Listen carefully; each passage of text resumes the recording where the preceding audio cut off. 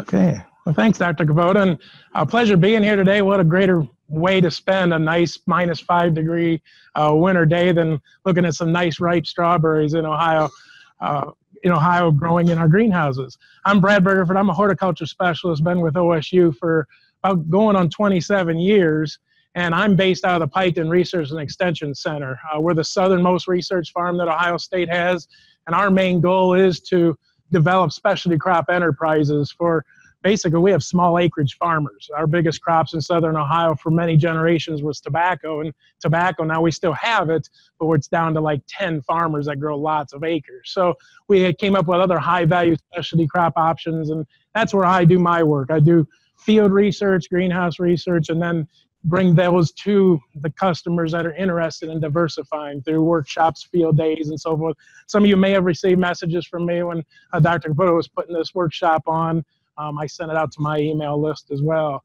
Um, one of the things uh, we have been working on at Piketon since 94 is trying to enhance the strawberry industry in Ohio. Strawberries are a pretty good moneymaker.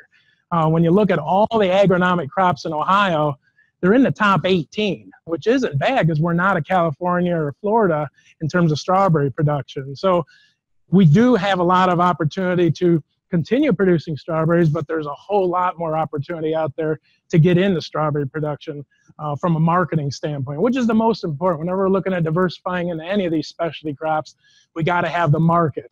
And I'll share with you a little bit of data that shows we do have a lot of marketing potential uh, here in Ohio. Uh, like I said, we've been growing strawberries for many generations. Uh, going back to the 1900s, uh, before California and Florida were strawberry kings. Uh, we had almost 9,000 acres, and I'll show you how our acreage has fluctuated uh, over that time frame. Ohio has a rich history of growing strawberries. We were one of the first states to ship strawberries by by a train car, refrigerated train car, packing it full of ice and moving to Chicago. Uh, here in Ohio, we're at the heart of it all. We can move produce to all the big cities uh, throughout the U.S. So even back in the 1800s, our strawberry farmers in Ohio were taking advantage of our marketing opportunities that we have, and they were the first to start, start shipping strawberries uh, by rail car. Um, where do we grow strawberries and how we grow them from the shores of Lake Erie clear down to the, uh, the shores of uh, the Ohio River and everywhere in between. Just about every county we have strawberries being grown on some amount of acreage. Might be just a couple acres, might be 50 acres, but we do have strawberries grown just about in every county and throughout the entire state. Um, some of the most recent census data back in 2015, uh, we had about 600 acres of strawberries. A pretty good farm gate value. When you look at the wholesale value of those, it's bringing in about 3.9 million. So that's where strawberries fall into the top 18 agronomic crops in Ohio is with that uh, that farm gate value coming in close to 4 million bucks. Believe it or not, even though we are small acreage in Ohio, Ohio ranks 10th out of the entire U.S. in terms of strawberry production. So even though we're small, we are pretty mighty when it comes from a national perspective. Um, being ranked 10th, I think, is pretty good. Um, and altogether, we have 566 strawberry farms. Now, I was talking to uh, Dr. Kubota about this a couple weeks ago. I work with strawberry farmers, and some of you I work with throughout the state. I don't think when it comes to the census data, we're collecting all the acreage figures that we have. I know many farmers that have just an acre or two and they're totally off the grid. They're Amish farmers, Mennonite farmers. They don't participate in USDA programs. They don't get the, the USDA uh, statistics, uh, um, call for statistics, you know, acreage and production and so forth. So really we're doing pretty good with the stats we have but I think we're losing a lot of those real stats that we have in Ohio. One of our goals in the future is to try to capture more of that and maybe bring up to speed where we really stand in terms of strawberry production in Ohio. But no matter how we look at it, we still have a long ways to go before we reach the full capacity that we could produce. Like I said, you go back to 1900, 9,373 acres of strawberries. Now, sure, we weren't producing a tenth of in terms of per acre yields that we're producing today. Plus, we didn't have those other states. We didn't have California wasn't a big king then, Florida wasn't a big king, but we did have. So there's our potential. We could go back to that if everything else falls into shape. But then you can see our acreage has been actually dropping off a little bit. We had a little blip, uh, blip in um, acreage there in 2010, 2011. But the neat thing when you look at actual production, our yields have stayed about the same. So what it means is farmers are growing less acres, but they're producing more yield on less acres, which is our goal as, as farmers because we make more money doing things that way. Um, here's where it shows where work that Dr. Kubota is doing and work that we're doing down at Piketon and all the other university folks that are doing research to try to increase our marketing periods, our harvest periods we can on strawberries. This is where it falls in when you look at the consumer data, how many pounds of strawberries are being consumed just by Ohioans? In Ohio, we're looking at 89 million pounds of strawberries is what's we are eating. No matter who's growing them, that's what our Ohioans are consuming.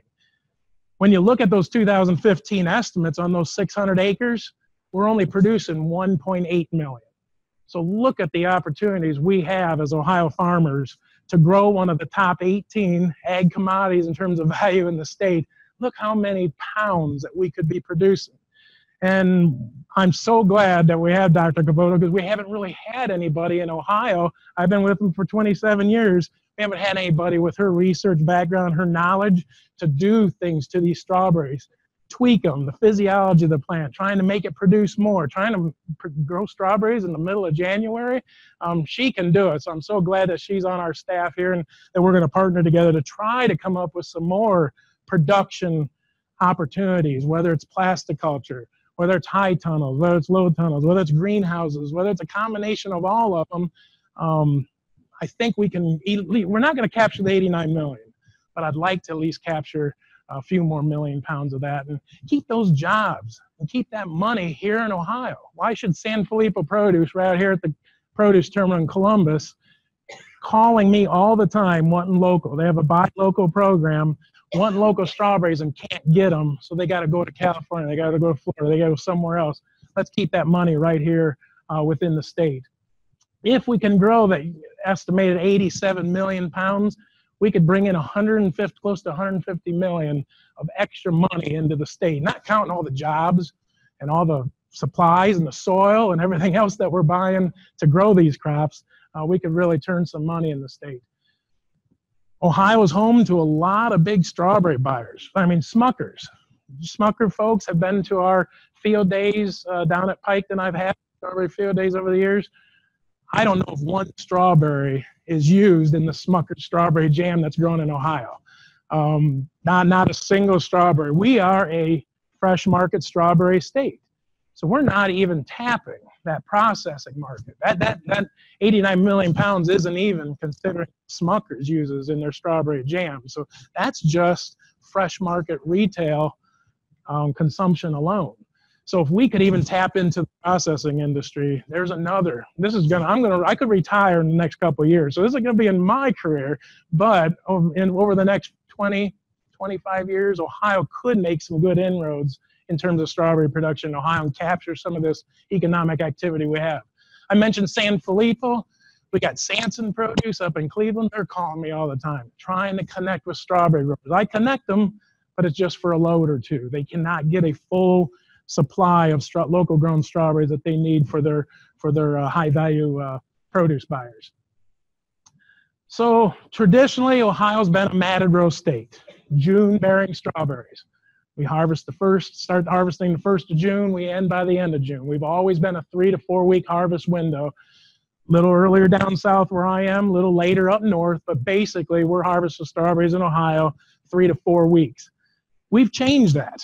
Um, Usually we begin down south on matted row strawberries around Memorial Day, finish up in northern Ohio first, second, third week of July. However, some of the work I started doing some uh, plasticulture work. Work with Dr. Barclay Poling down at North Carolina. He moved North Carolina from a total matted row state to a plasticulture state.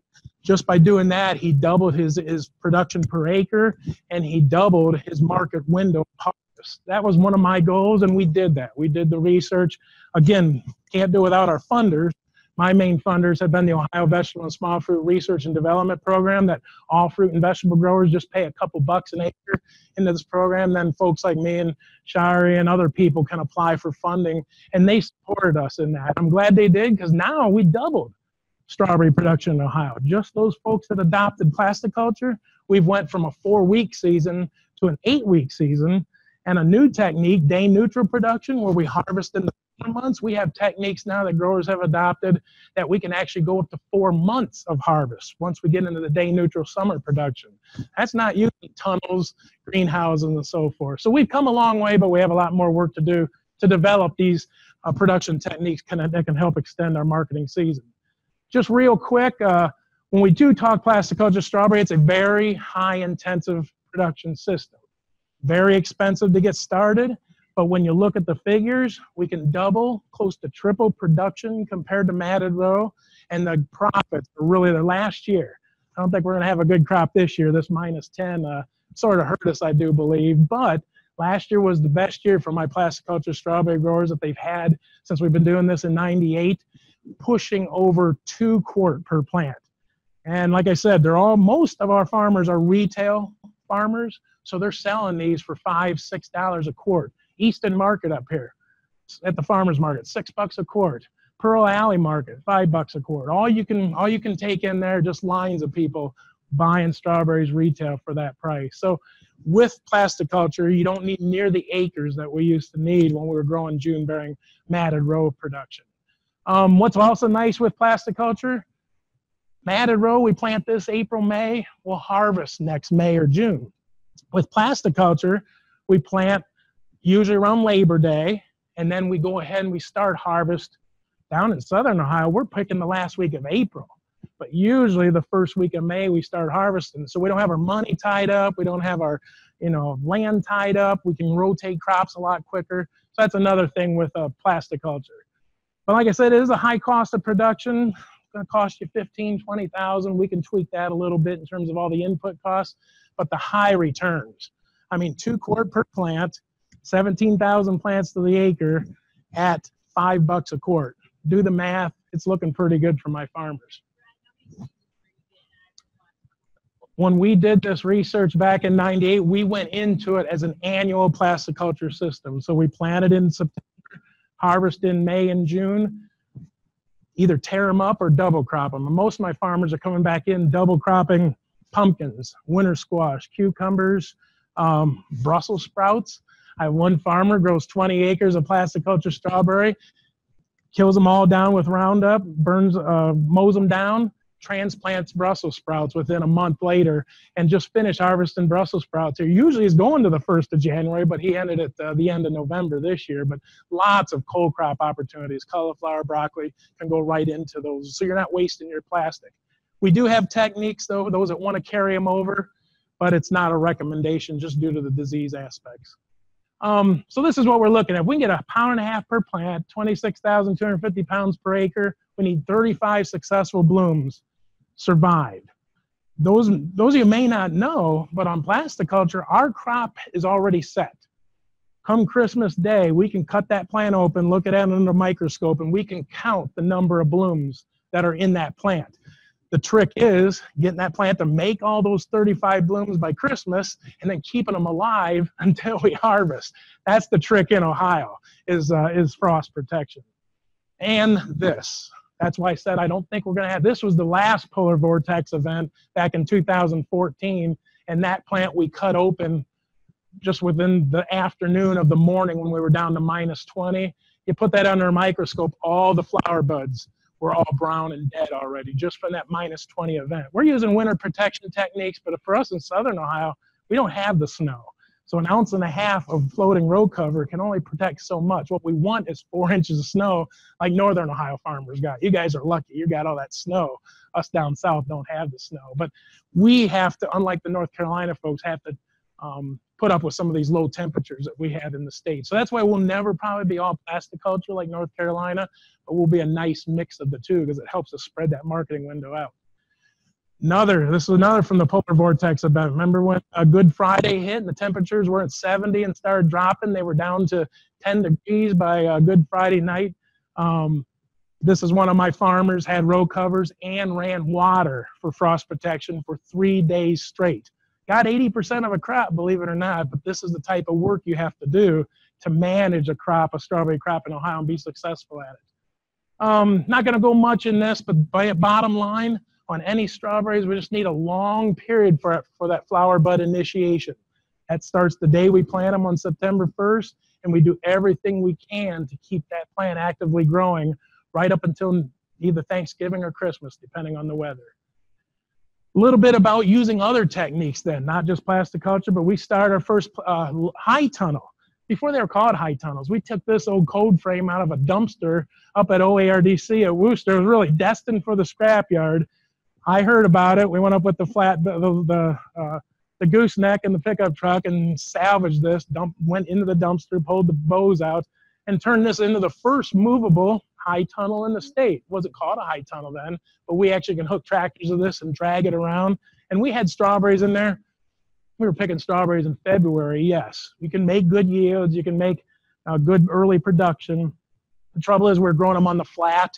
Until we can start producing strawberries in the air in these high tunnels, we're not going to make no money. You can make more money growing indeterminate tomatoes because you're harvesting all that expensive airspace. Now, some of the stuff you're going to see today that Ashari is doing, um, we can actually take some of those techniques, put them into the tunnels. We're harvesting that expensive, uh, expensive airspace. But no matter what we do, high tunnels, low tunnels, comes down to economics. You got to be able to make some money at that, and that's both of our researches um, also has an economic tie to it because if it's not going to make y'all money, we really don't want to uh, try to get you guys adopting techniques that aren't going to make you any money.